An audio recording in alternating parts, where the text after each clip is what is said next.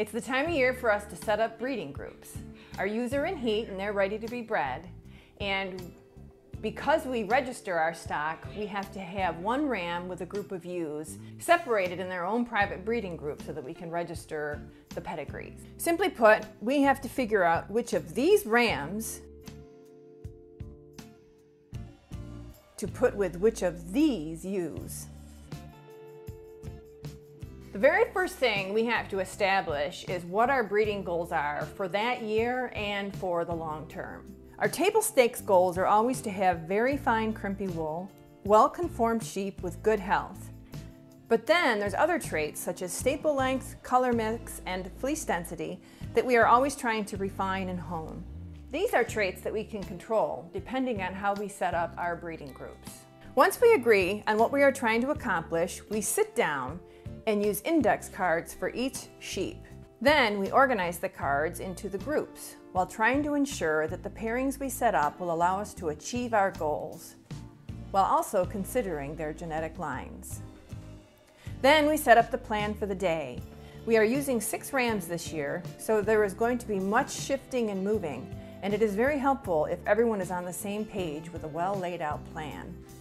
This is a very physical job. This year we are breeding 35 ewes to 6 rams, so we're going to need 6 separate pens which are going to allow us to trace the pedigree. We need a pen for the ram lambs that aren't being bred, a pen for adult rams, and a pen for sheep we're not going to be breeding.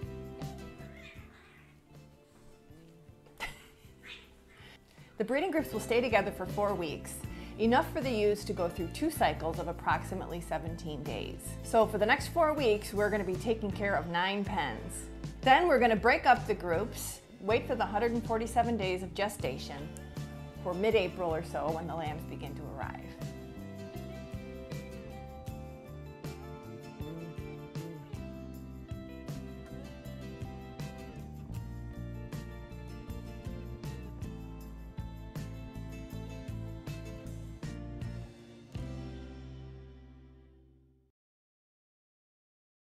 So I'm here with Rich, and I thought it would be a really interesting segment for us to just have a conversation about the animals that we're breeding with and talk about their traits and what we like about them and stuff. So Rich, I think it'd be a really fun thing to just go through the the rams, um, since they're, you know, obviously very important when you're looking at breeding groups. So what? Can't have one without it. Yeah. so we start with Loki. Um, Loki's one of our black rams. He's got a nicely sized group of about nine ewes. And what can you tell us about our ram Loki? Loki is a black ram. He's a two-year-old. And we we originally didn't breed him as a yearling, I, I think, didn't we? Yeah, I don't think we did. I think. So we, we hung on to him because we liked him. Uh, he's a black ram. We were trying to get more black Shetlands in our flock. So we kept them and we didn't use them. But then I looked at them as a yearling. I said, "Oh, this guy's really good. We should be using them." So then we did use him last year. This year he's two, and um, he's an interesting pedigree. He's out of RU Eleanor, who's out of Egyptian Autumn in Pearl. Now, anyone that's followed our blog or followed us on Facebook knows that we have a lot of offspring from Pearl, and she's been a big part of our flock. So I'm not surprised that, you know, that Loki is a second generation pearl essentially. And Egyptian Autumn is another interesting sheep that we have. He's out of Blue Sapphire and Egyptian King. So this goes back a ways, but Egyptian Autumn was a very, he was very fine. And, it wasn't very fine. He was fine, bordering on super fine. I think he was super fine. But he was very, uh, had a fine crimp. So that was interesting. And Loki's got that. So on the sire side, Rush is his father, uh, OK Acres Rush, who we used two years, I believe. And uh, just interesting sheep. He's on a smaller side. And I like that about him. Um, just that we're trying to breed for smaller Shetlands to get them uh, more like the UK Shetlands, what you would find in the UK. And the whole intent of our program is to get more aligned to where the, Sh the Shetlands are truly supposed to be and how they would look at the in the best UK flocks. So we're focusing on fleece obviously, but we're trying to make sure we don't get too big or too small.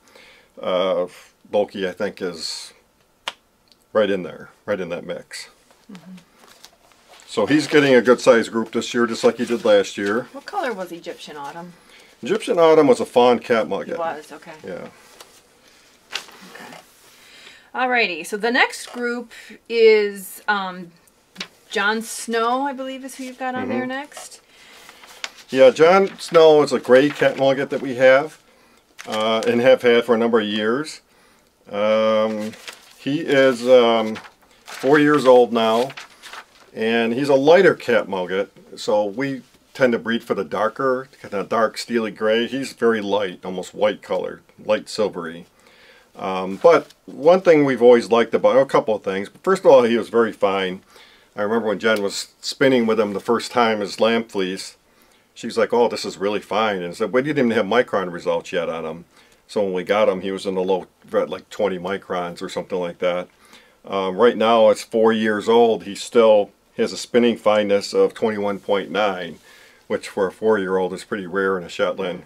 But the other thing we like about him is he's crimpy, but he's also, it has a finer crimp, but he also has a very, uh, very long, a longer fleece, longer than some of our Shetlands in our flock. So we've used them a lot because we're trying to get more longer fleeces and, and, keep the fineness. So he's helped us, helped us with that. Uh, we certainly got a lot of fine sheep out of them, And the fleeces are getting longer. So we're not sure how long they need to be. We're, you don't want to stay in a three to five inch range. Well, um, it's nice to have longer staple because that means more wool per sheep that you're feeding, right? So, and plus that it's a lot easier to spin. One of the things about Jon Snow that I really like is that he roos really easily. So by that I mean the wool comes off really easily. And I don't know if that's a trait that he can pass on to his offspring, but if he can, I see that as a big benefit. Yeah, rooing is a primitive trait. Um, so I, you know, I wouldn't say, well, this sheep doesn't roo, so it's no, it's no good. But I do think it is a primitive trait that you want, you would like to have, and certainly we like to have. Mm -hmm. Um, the downside of that is it roos whenever it wants to. You don't have, really have a. I mean, well, yeah, they'll right. develop a rise, and sometimes with him it's in January, so it's not really the time you want to be out there rooing sheep and plucking it off. so we have to try and hold on, but a lot of times this fleece falls off before we can get all of it. There's just nothing you can do about that. It's just too cold to um, to, to manage any other way. The other th interesting thing about Jon Snow is his comfort factor is 97.4 percent. So comfort factor is the percent of fibers when you send in the samples to the micron testing. And I'll talk about that with a couple of the RAMs. You send it in and they measure all the diameters and they say, well, how, how what percent is less than, a, less than 30 microns? So in this case, 97.4, which in an adult Shetland is really exceptional. Mm. Uh, pretty rare, actually. Uh, his CRV, which is a measure of the fineness of the crimp, is 91.7, which is also fantastic for a for an adult Shetland, certainly one four years old. So that's kind of a nickel tour of, of Jon Snow. His pedigree, uh, he's out of Mr. Darcy, who interesting enough had a very dark steely gray katmoget fleece. And that's why we were breeding with him, because we really wanted to get more of that. Because he was so dark at birth, we thought he was black. I mean, he was just really, really dark. Um, so Mr. Darcy is out of Genoa, who's in our flock. Um, very, she's very dark. Uh, Whispering Pines Canterbury, who's a Pearl son, And then on the other side, we have some uh, artificial insemination genetics. So uh, his mother uh, is English Gardens, who was born here on our farm. And she was she's out of Little Buckaroo, who was an F1 Jericho, who we did AI on a ewe. We did an AI on um, Persia, was Sheltering Pines Persia from, from that farm. Um, and then we got Buckaroo and we bred him to a couple of, we bred him to a couple of ewes, but Itasca in particular, I was looking for, I was trying to get a nice comp, conformed lambs out of that breeding because he had good legs, uh, she has good legs, and we thought we'd get a good conformation, and we did. Um, Fleece-wise, you know, English Guard is not the has the best doesn't have the best fleece in our flock, but she is a she had a lighter gray katmoget, very similar to Jon Snow. But that just shows you with some focused breeding, breeding Mr. Darcy, who was extremely fine, super fine, to a ewe that was a little bit higher in micron, and then we got Jon Snow, who's like I said, 21.9 microns, which is very low. Mm -hmm. um, so just in one generation, we're able to get that kind of improvement. So that's that's pretty exciting when you can do that. Um, Mr. Darcy was even finer than that even. He was in his teens, I think, maybe 20, 19, 20, something like that. Um, so yeah, that's. Uh, I mean, English kinda... Garden, her fleece has got the long staple length. She's just got a higher micron count, but I mean, her yeah, it's but a dense fleece as well. But I think her micron is like 27 microns or something yeah, like right. that. And 28 right. is the maximum threshold, right, for comfort level, for prickle well, factor. Well, I mean, 30 microns is the wool standard. So, you, and okay. you'd like all your fibers to be less than 30 microns. Okay. Um, some of hers are not less than 30 microns, but on average, her micron was like 26, 27. Um, I won't go into any more detail about that, but there's a okay. lot of so we talked about Jon Snow and Loki. Let's talk about the white ram we're going to be using this year, Harry. Harry we used last year as well. Uh, we really liked him as a lamb. So we, he was extremely fine. So I don't have his last year's micron, but his yearling micron test from his first fleece was 16.9 spinning factor, spinning fineness. 100% uh, comfort factor. So it gives you kind of an indication um, he's, you know, he's not really considered an adult. He's a yearling. He'll be two in the spring. Uh, but we are in a second fleece now. And he's a curvature 95.1, which is, again, a measure of the fineness of the crimp. Higher is better. Uh, I shouldn't say higher is better. Higher is tinier crimp, not necessarily better. More, more what we're shooting yeah. for. Yeah. And then he has a coarse edge mean, which I haven't talked about much, but I have in the past, of 6.4. Coarse edge mean is a kind of a measure of double coatedness. So you, the lower number kind of means, well, there's less of a double coating, more single coating. Um, and I'm not going to get into all the what actually that means. But um, generally speaking, we look for a lower number. I don't look at that that much because most of our Shetlands are have low coarse edge mean, CEMs, another way to say that. Um, but looking at spinning fineness, comfort factor, CRV, those are the things I look at. Um, if you were to boil down your micron reports to three variables, those would be the three. So Harry had a he had a smaller group last year, and all of them produced, from what I recall. So this year we actually are rewarding him. He's getting the one of the bigger groups, um, eight sheep, and because he's white, we've got the expectation, right, that hopefully we get more white lambs because white is that dominant pattern, right? Yeah, um, you know, we don't want to have too many white sheep, but we did want to build up the number of white, fine white sheep that we have, or super fine white sheep. There aren't a lot of them around. Uh, we've had a tough time, just like the blacks, there also seem to be a tougher color to get uh, fine sheep on. So when we say we're trying to breed for fine UK style Shetlands, we're trying to get them in all colors. And I find white and black to be two of the rarer colors to get fine sheep in. Um, so that's what we're trying to do. We're trying to breed for more of those, have more to sell, but also just make sure we have a good stock of whites in our flock so that we don't have happen what happened several years ago where we had one and uh, we lost that sheep and then we didn't have any whites. Yeah. You can't get white unless you have it in your flock. So the proportions are what we're trying to adjust. Yeah. Right? Okay, cool. All right, so the next one, um, very popular ram when I do my Facebook live feeds and different stuff, and that would be um, Freya's Black Yuglet Ram. Want to talk about him for a minute? His father, Frederick, is out of Jon Snow and Brienne of Tarth. So Brienne is also a very finely crimped ewe. She's moorit. Um, so we were trying to, to, get more offspring out of her. Uh, Frederick, when we when he was born, we said this this sheep looks really. He's got he had a very finely crimped fleece. His conformation was outstanding. Mm -hmm. um, he had everything you would want really, uh, except he was a fawn, which we had enough of. We didn't really want to breed with fawns. But we just thought he was too good not to breed with, so we did give him a group last year. And Smiley, as Jen just said, is, is a black Yuglet out of, out of Frederick and Freya. Now Freya's interesting because she's out of... Um, Blue Sapphire, right? Yeah, she's out of Blue Sapphire, who was one of our first fine, super fine Shetlands. She was born here, so she's farm raised here. Um, it's interesting though is that uh, Smiley, his spinning fineness is 23 microns for a, his lamb uh, micron because he's not a yearling yet. That's higher than we would normally use. We don't like to use, you know, stuff over 21, 22 microns. But you have to look at the whole sheep and decide what, what you want to do. So in his case, his fleece is very dense. He's co conformationally very good.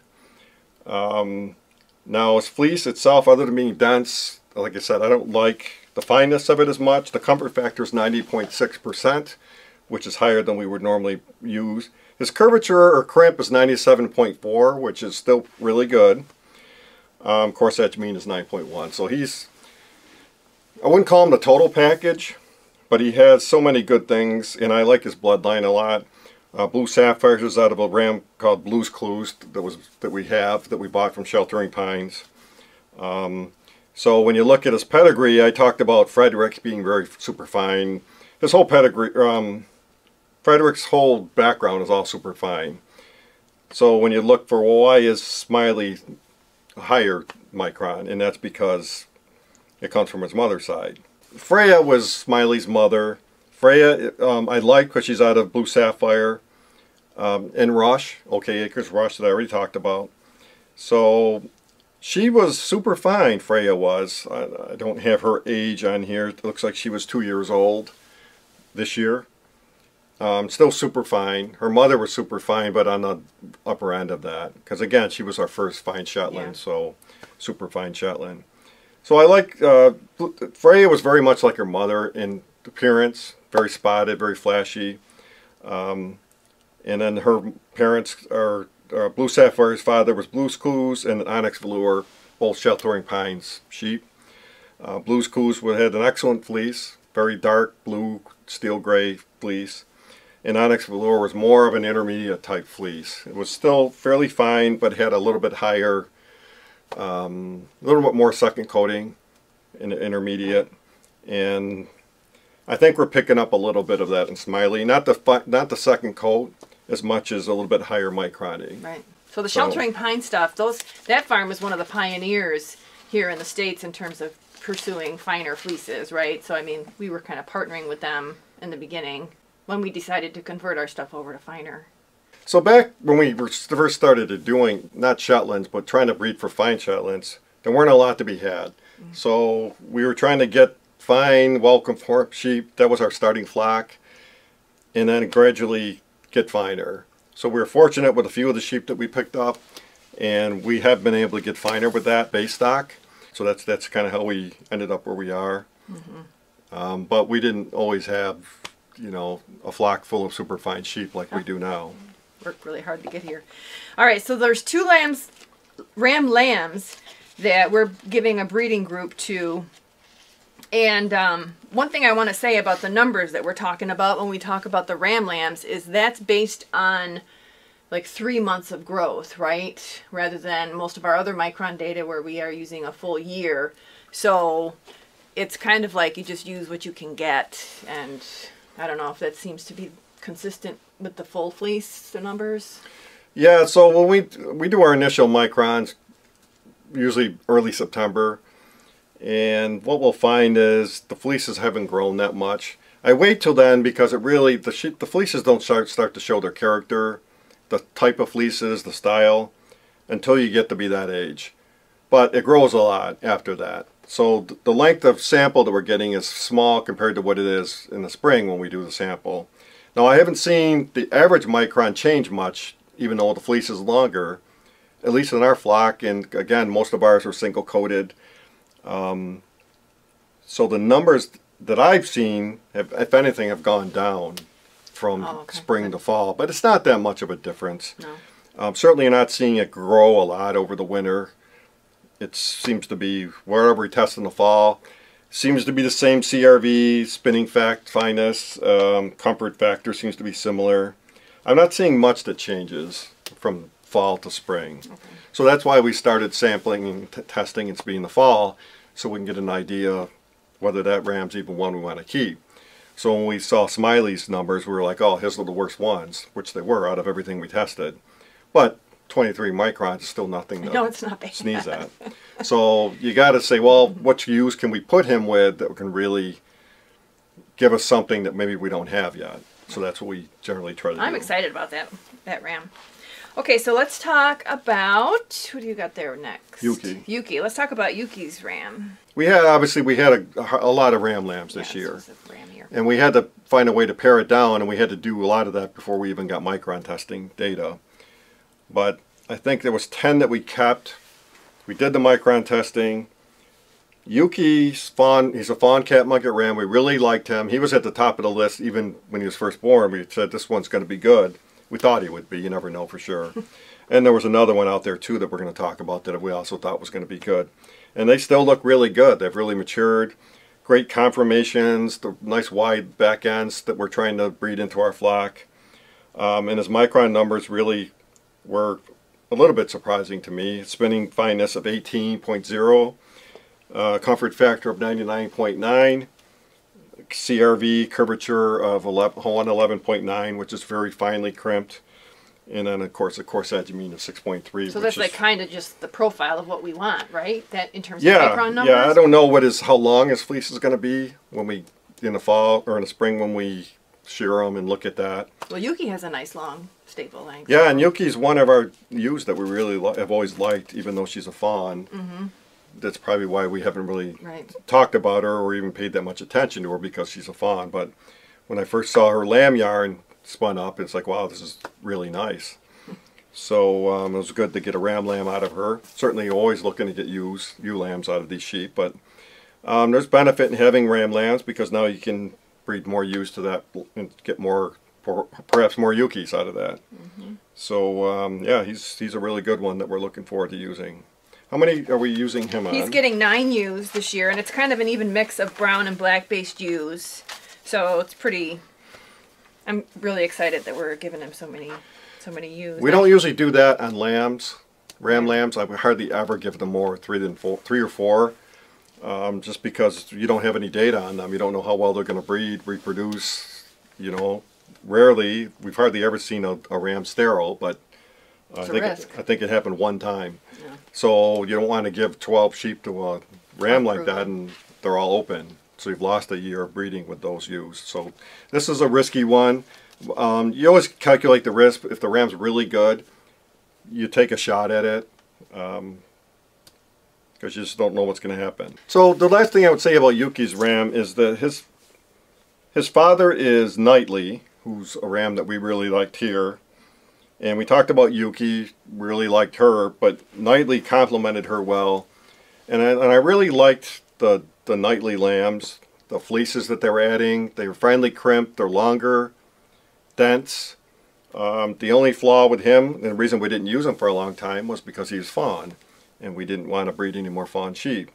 Um, he's also a Canterbury son, and we use Canterbury heavily. Had a lot of ewes. He's out of Pearl too, right? Yeah, Canterbury. Yeah. Canterbury's out of Pearl. So there was just a, a good cross that we had with between uh, Yuki and Knightley, and then Knightley's just uh, was a really good ram that we used two years, I think. We used him, Mm-hmm, in spite of his color, which you know. So what do we have next? So the last one to talk about is the Ram Lamb out of Audi, and he's gonna get four ewes. Um, he's gonna get two of the whites, a black, and a gray.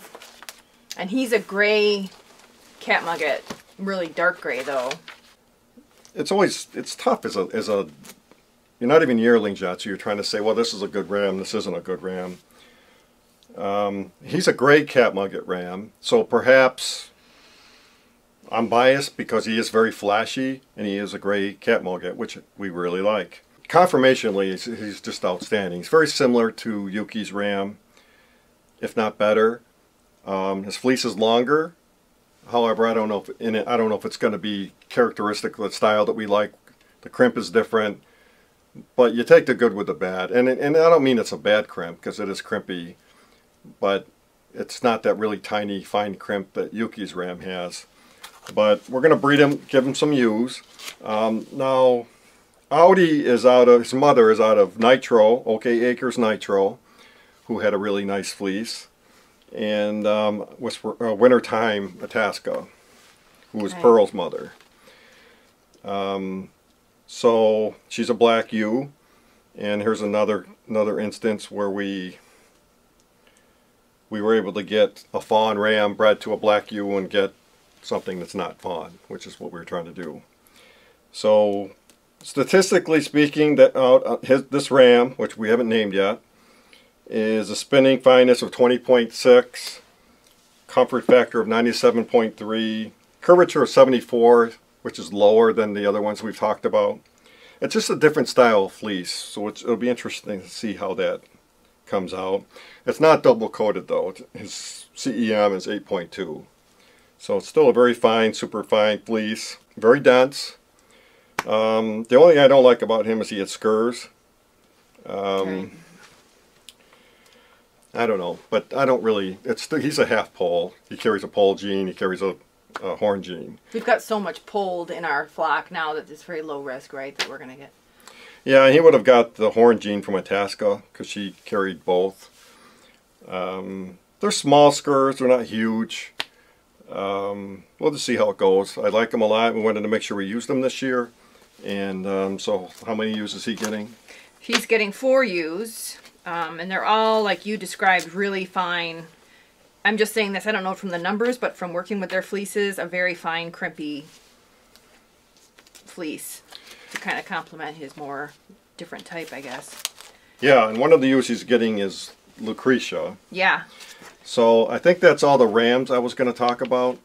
Um, I want to talk about a few of the ewes we're using, and she's one that I'm going to mention because she has a lot of what we're trying to breed for. She's got a great conformation, a dense fleece, it's a kind of a big fleece, fairly big. Um, she's one year old, so she'll be two years this spring when she lambs.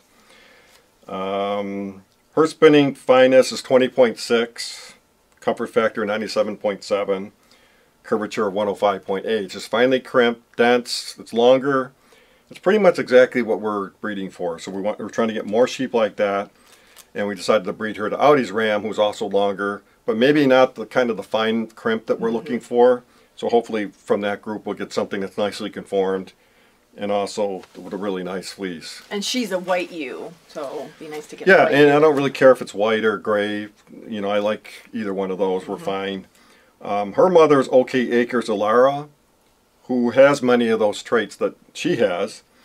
Um, I think Lucretia probably has a longer fleece than hers, isn't it? I think so, yeah.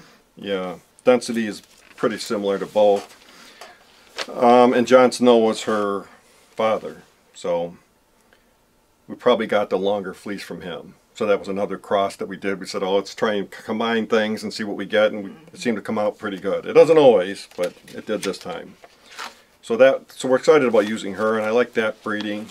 So hopefully that works out well for us. So um, then you wanted to talk about Ty, who we're going to be breeding with Loki's ram, the black solid ram. Yeah. Ty is out of Knightley, another Knightley daughter. Um,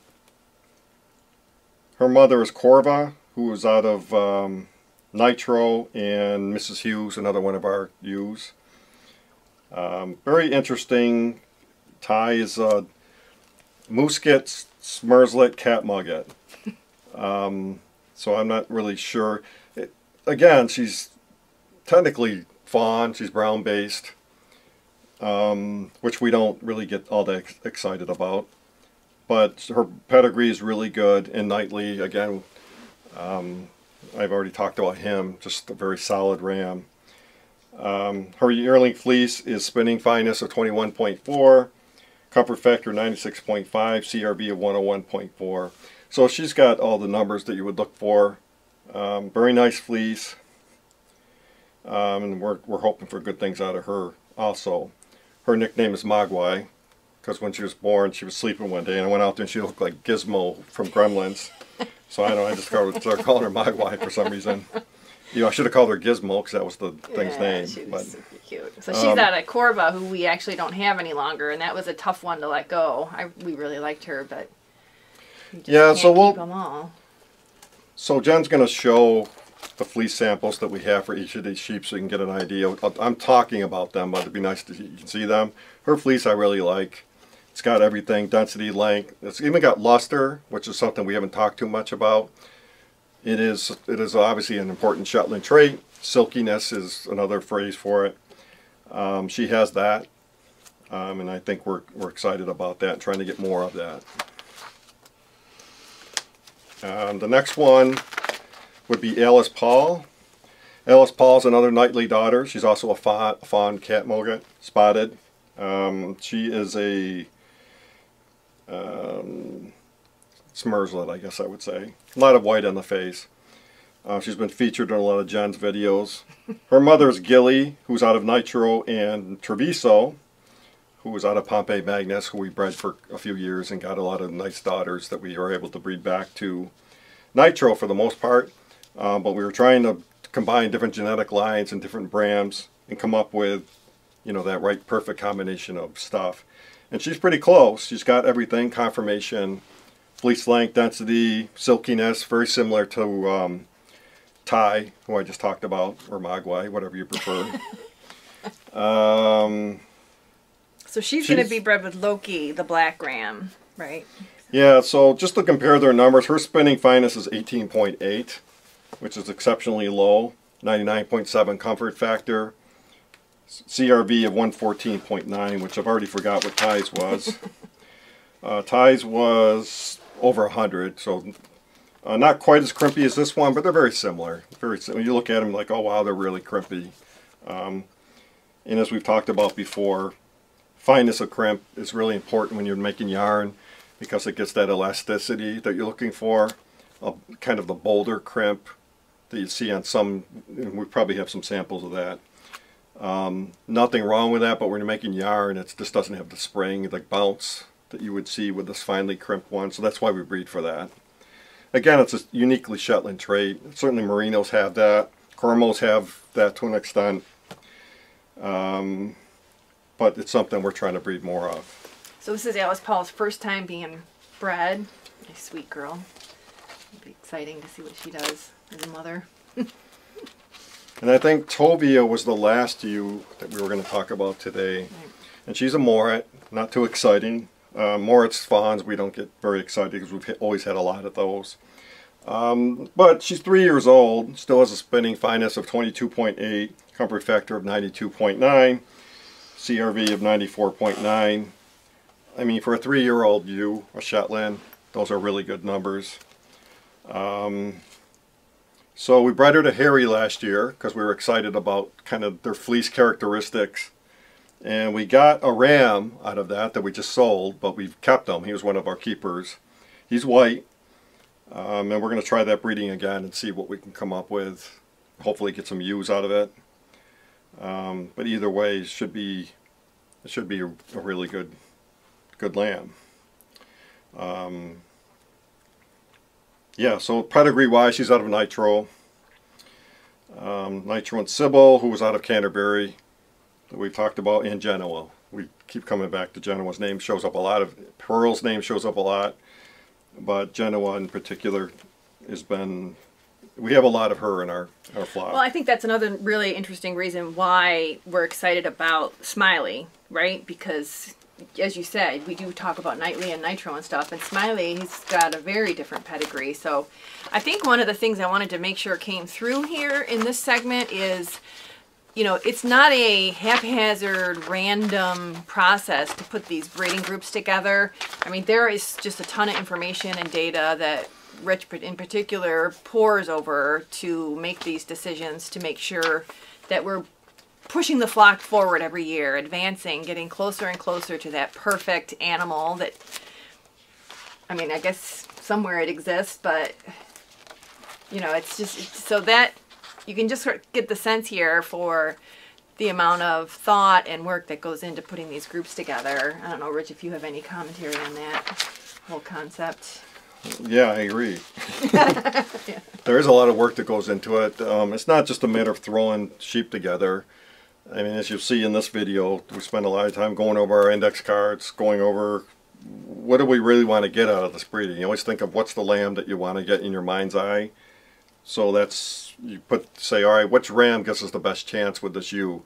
And like I said, it doesn't always work. I mean, it probably works 10, 20% of the time. Do you get something out of it you think is what you were trying to do. So are you actually picturing, I mean, I, I see you looking up and this, when you talk about your sheep, you can actually, are you, can you picture, you know, what Egyptian autumn looked like? And I mean, you still have that? Uh... Yeah, and, and we, we talked about trying to find, a, trying to build the perfect Shetland. And back in the day, Egyptian autumn was like the first one we had probably to, he was out of Blue Sapphire, who was our first super fine Shetland but she didn't have the fine crimp that he had. So he had extremely tiny crimp, very not unlike Frederick, who I talked about, um, the few of our other sheep. Now it wasn't a four inch long fleece, it was on the shorter side of the three to five inch uh, goal that we have, but extremely finely crimped. So I think back to those and you say, oh, that would at the time seemed really good, and we've far surpassed that now. Mm -hmm. So we've taken that and we've added a bunch of other things like longer fleeces, he was dense, so I don't know that we really improved on that with him. Um, but he was a big improvement on his mother in terms of density. Um, not so much fleece length because he was a little bit shorter. But um, you just keep trying the combinations, and we've gotten better at it over the years, what we think will happen. Shetlands are a, a bit of an enigma, though, because there's so much in their pedigree that you don't understand. And so they'll throw back to things that you primitive characteristics that maybe we don't want. Um, but that, that doesn't happen frequently. It's just that you can't really predict what you're going to get out of a given breeding. You think you know what you want, and it doesn't always happen that way. There's just too many things in the background that, that uh, appear later on, several generations down the road. So a lot of information we covered today, a lot to unpack. If, any, if you have any questions or want to get more information, please leave a comment below, or you can contact us um, at our email, and you know, be happy to share more information if this wasn't enough, which I can't imagine. So thanks a lot for stopping by, and we'll see you next time.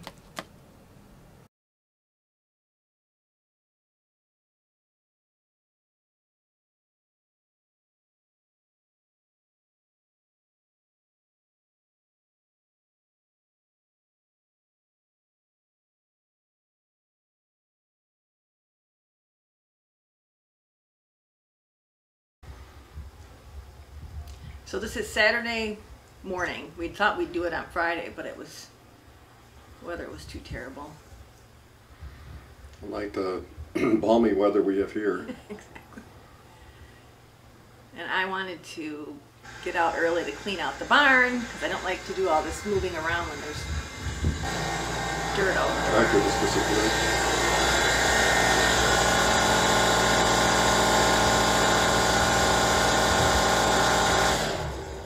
where are you working now? Chernobyl? I wear that because I got a really bad chest cold once from the dust in the barn.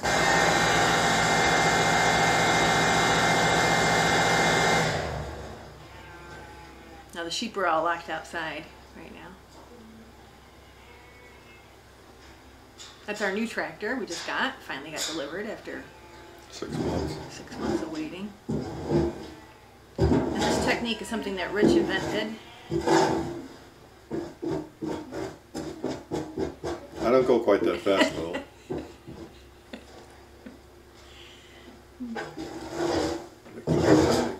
I know it. There's three sections of the barn that you got to clean out.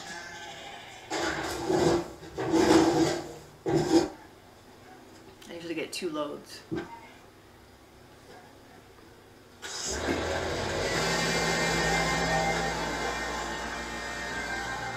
You're not messing around.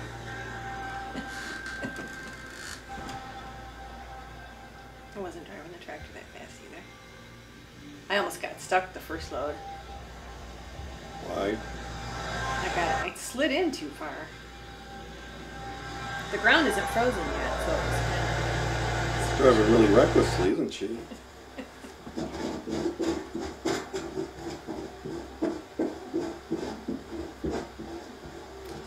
the west side of the barn that I'm cleaning right now.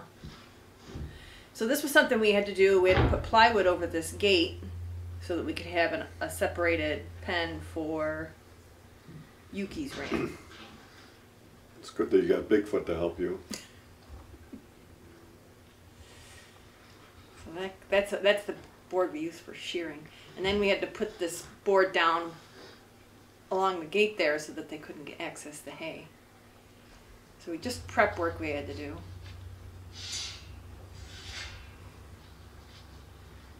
And then we had to break it down this pen that the ram lambs were using over the summer to get more grass to eat and use those panels for Harry's pen. It's fascinating, isn't it? Is he liking it? Mm-hmm. Sabrina's watching.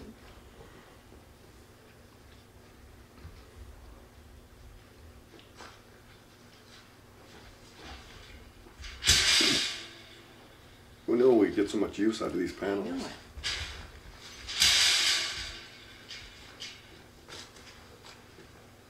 We even got Bigfoot driving a tractor. Oh, Stop about the big fight. You don't look like Bigfoot. Everybody should have their own Bigfoot.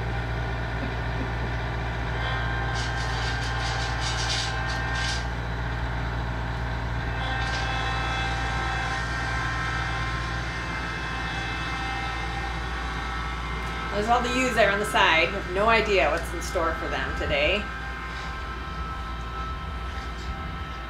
They haven't eaten yet. I wanted to make sure they were hungry so we could get them to move easier. It's time They're move. thoroughly confused. I know. This is not the procedure. and that's where all those Sydell panels are. Stack them in here. Yeah. I'm gonna, I'm gonna keep this door open. Bigfoot taking directions. Well, all this was all written out, all the steps for the things we had to do.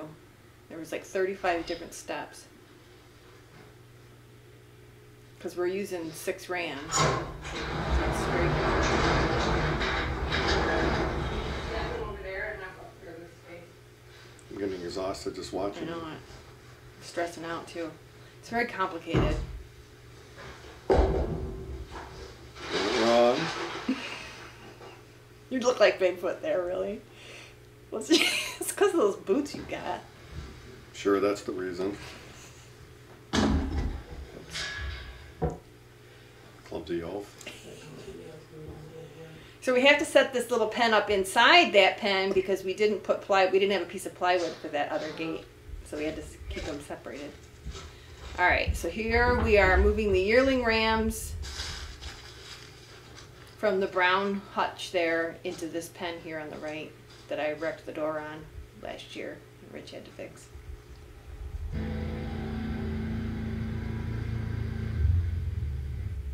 So the plan was we had to move Frederick and Pearl's moorit ram into this pen because we're not breeding with them.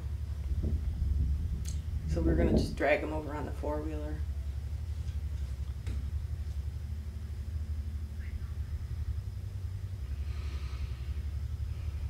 This would run a lot easier if the ground was frozen. You know what? Because that pen was really messy.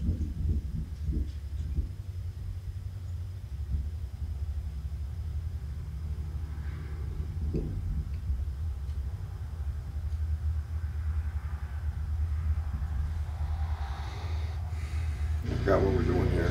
We are taking. Oh, well, this is moving one of the Pearl's rams. moorit ram. Yep. That was the first one. I forgot that we were filming this.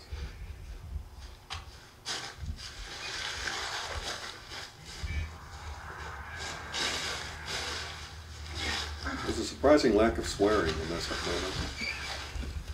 Found best behavior, I think. Now, Jon Snow is going out of his mind because that ram is over there. He's just like, what's up? It's just like in prison when they introduced the new prisoner.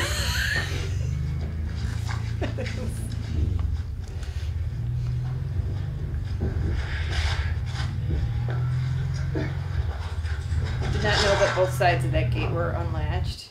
That was a curse word there. I bleeped it out. Oh, And this is Frederick. So he didn't get a breeding group this year.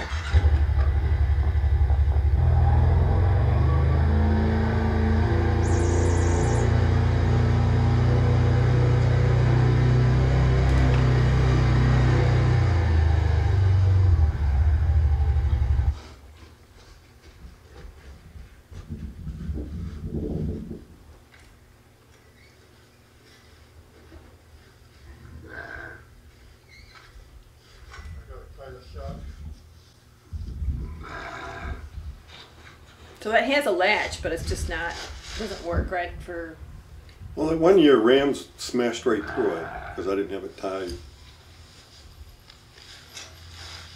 So didn't want that to happen again. And it should do it. nice and secure.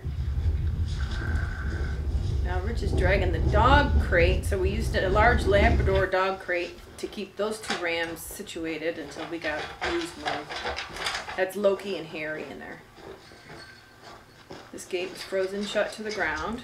That took some doing. Good thing I had Bigfoot with me. Ebony and ivory. Harry's white. Oh, great. Loki's Loki's black. So now I'll let all the girls in. So we gotta because we gotta sort them out. So these are all the ewes. Lambs retired. Everybody. And both sides are shut off right now, so they still haven't eaten. They're all like, "What in the world is going on?"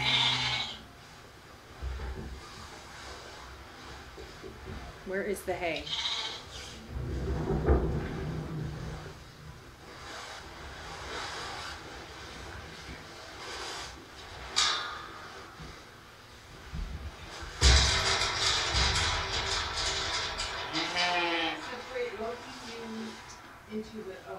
We have to get, we gotta put them all over there and put Loki's ewes in the center. Alright, so now what we're gonna do is you gotta go out and switch the gates. Cause right now they're just gonna go out in the big pasture. Okay, so we'd already separated all the Loki's ewes. That's, these are the ones that we're breeding with Loki. And we gotta run them all the way out past two pastures and a shed to get them on the far of this pasture, which is really ridiculously ambitious. You're always catching my good side.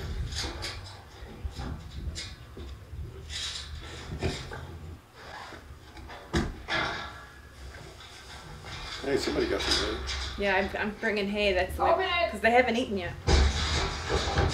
Oh, sorry. Okay, open it. Oh, we lost it. Did you bleep that out too? Get out of the way. There's Jon Snow going out of his mind. All right, so here's the first pasture I got to get him through. Yeah, with all the steps we had, surprisingly, isolating Jon Snow wasn't in one of them. Because he was right there on the edge of that I know that was really risky. Is. So they all went very nicely. So who was it that didn't go? Mrs. Hughes. Yeah. There's always one. Oh, she was making me furious. She knows better.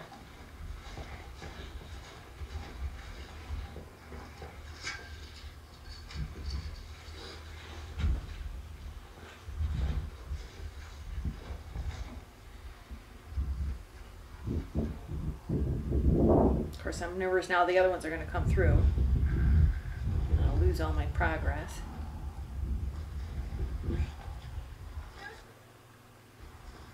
Yeah, they're usually pretty easy to get out once once you lose them. It's taking me like an hour at different times to get those rams coordinated. You know, trying to get them in there.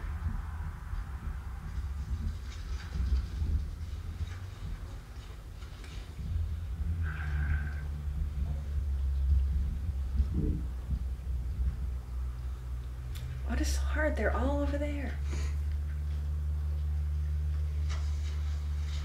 I had to have been using choice words here. I don't remember though. Couple. Hawkins might call you. That was really good advice. Ah. All I gotta do is get her in the other one now. Well, this is the problem. Is they hate going through like gates or enclosures and stuff. Remember the old days, I had to drag them over one by one into their breeding pens. Then I devised that other way to put fencing on, temporary fencing and let them run through there. Which wouldn't work very well for this.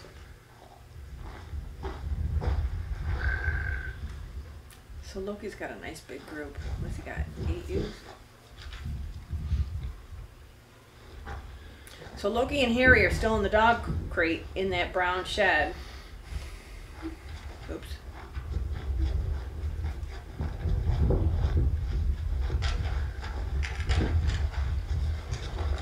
No, they're going in there because we put hay in there. It was hard to film because I was carrying the tripod when I was walking.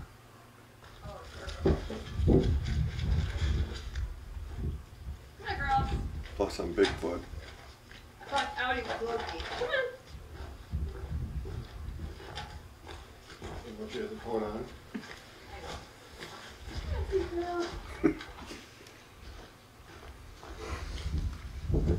It always makes it more enjoyable when you get some zingers in there.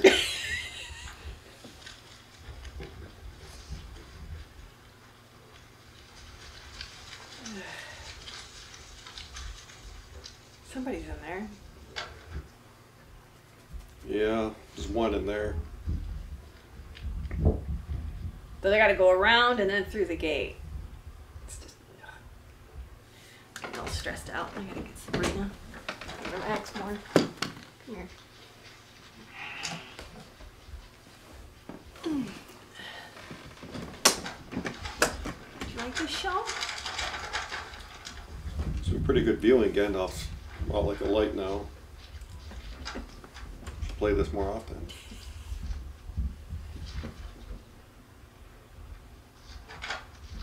That is uh, Audi there. And there comes Alice Paul, my good girl. I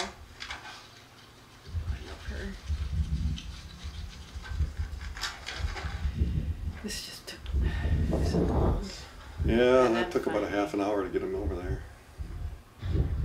I didn't put in here the one where she took the head dive. That was scary. All right, so now we're setting up another transfer. This is going to be Jon or Jon Snow's group. They're gonna we're gonna run them through there. So we got to get them on the other side of the barn. Through that gate and around.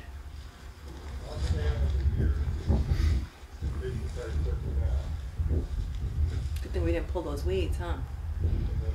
Nice little barrier.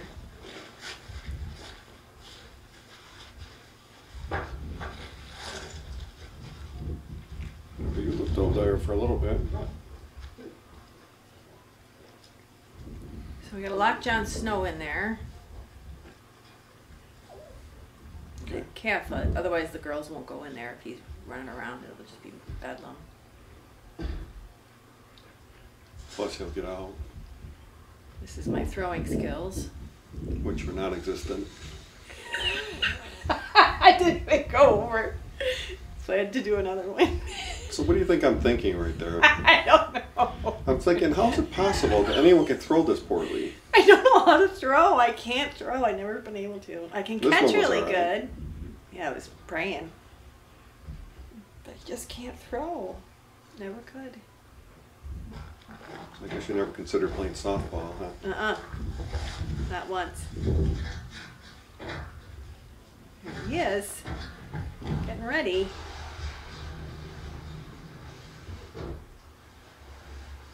They're waiting patiently.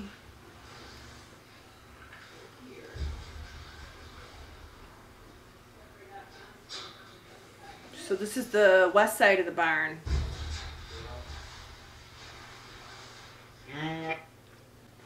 No, we didn't get to hear what she had to say.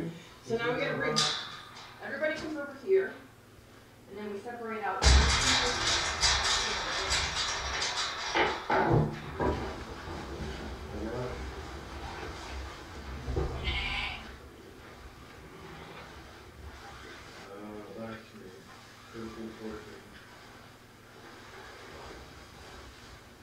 I gotta catch three ewes that are going into Jon Snow's group and move them over to the other side.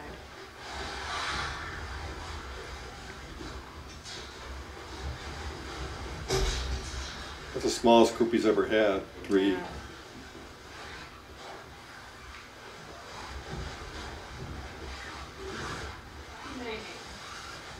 He's related to too many of them. Isn't he? Mm-hmm. This is yeah. that's a Fabia. Right here. Okay, ladies. So there they ran through perfectly fine, and we got them in there. And now I'm getting.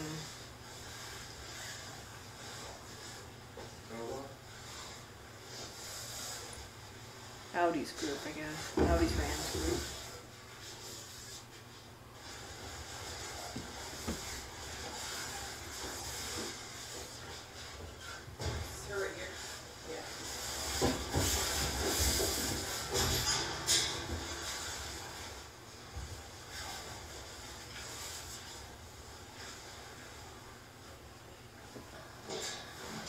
This is Harry's group.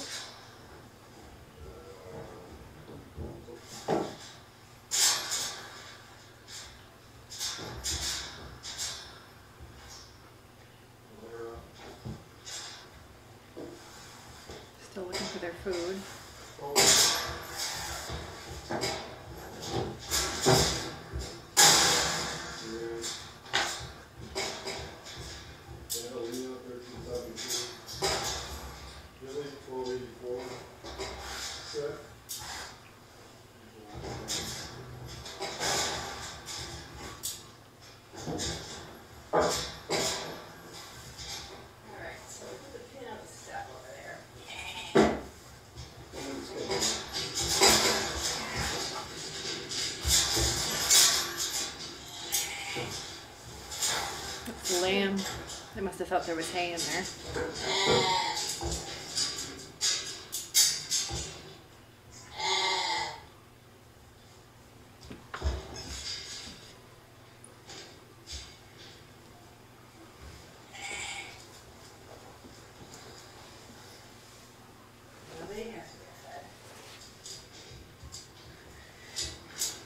Isn't Sif cool looking?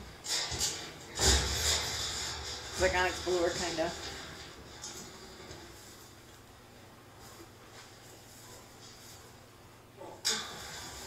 Let's go. So then we had to let out the lambs and all the retired ewes and anybody we're not breeding, and it was strange. I had hay out there, and this is the routine every day, but they were really perplexed about what they were supposed to do right now. guys confused? Come on. Genoa, come on.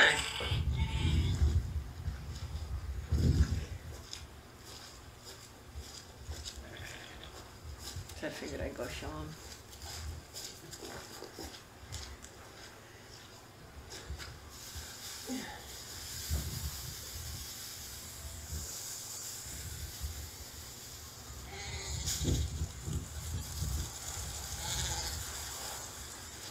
Just weird.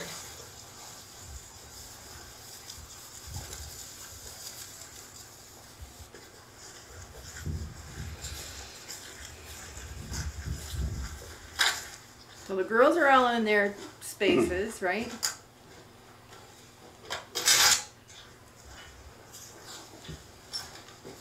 We needed to get Loki out. That's what we were going for here.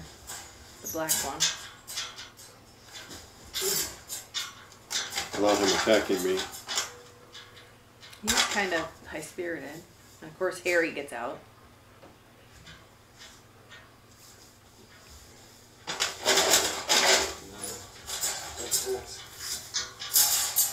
You gonna in there for now?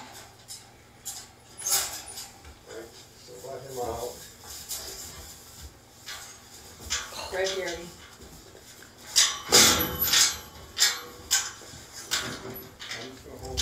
Okay, give me just a second. You got a little bit of footage here.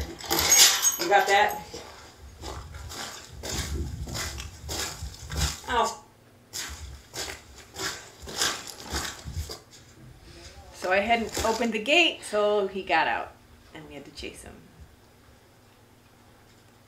And he was all excited about the girls over there, but didn't really know how to get at them. All worked up.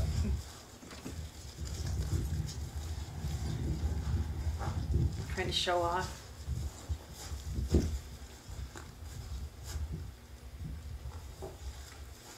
There. What do you got out again? No, this is the right. I had the gate done right. So there he is out there with his ladies. So he's the one without the coat. And Dina is in heat apparently.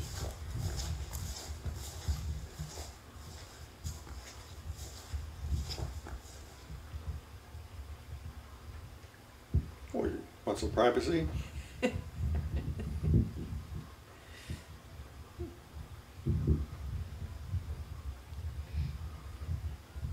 Dina's had lambs before. It's really that easy, I guess, for rams. There we go. little privacy there. Okay, now it's time to release Jon Snow so he can meet his girls.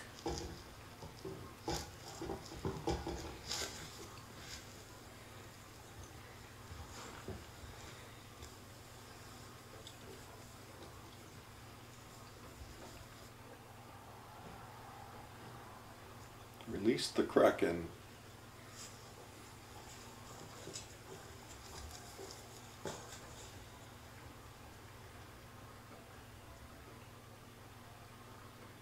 So he did breed that white one. That's a Fabia. We wrote that down. Whenever we see him breed them, we write the date.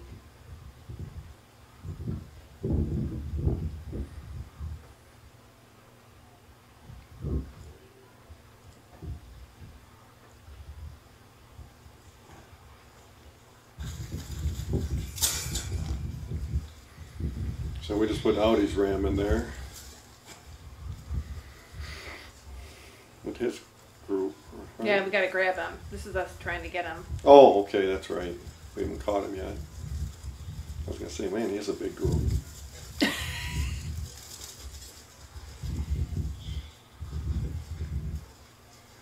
forgot to bring hay, so it was kind of hard to catch him. Yeah, I remember. Careful. They're gonna charge you. Get out of here, Emma, get out of here.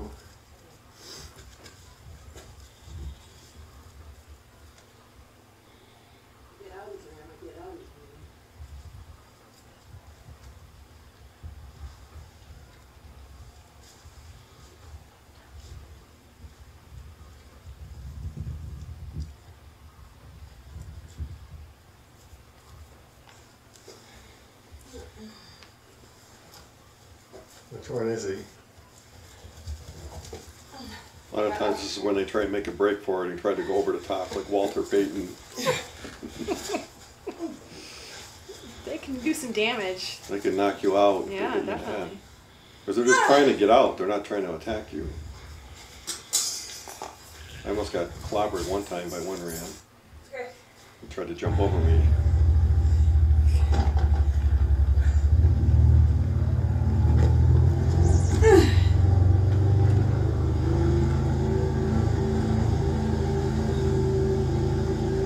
Enjoying a fun little ride. So he's over in the pen next to Jon Snow. There we go. Where you going?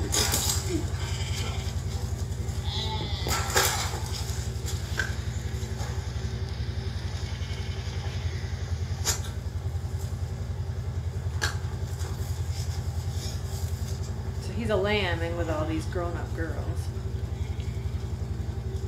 Have fun. Now we gotta get Yuki's.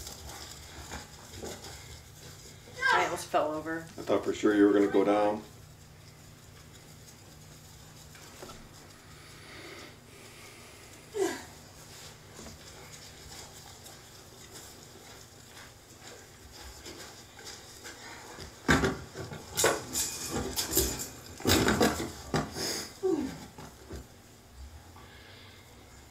So he's the- going to the west side of the barn. He's got eight ewes over there waiting for him.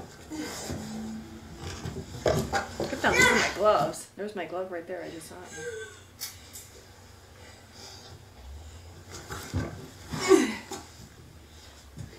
We were at this till like two thirty, and you were still doing stuff after I went in. Exhausted. Yeah, we had to hook up the water buckets because it was freezing that night. Heated buckets.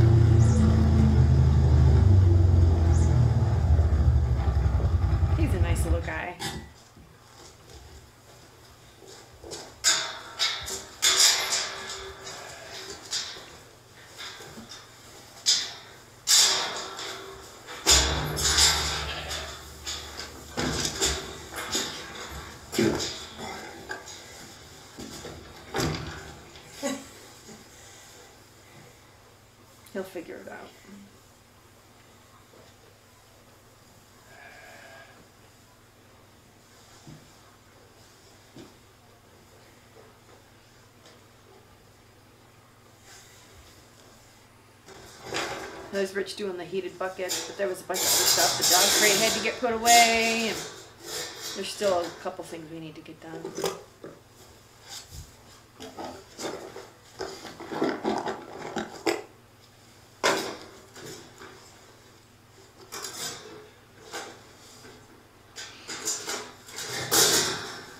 So we've got one, two, three, four, five, six, seven, eight, nine buckets of water monitoring now. This is Like it? about him. Yeah, unless you want to say anything. No, just make it fun of me.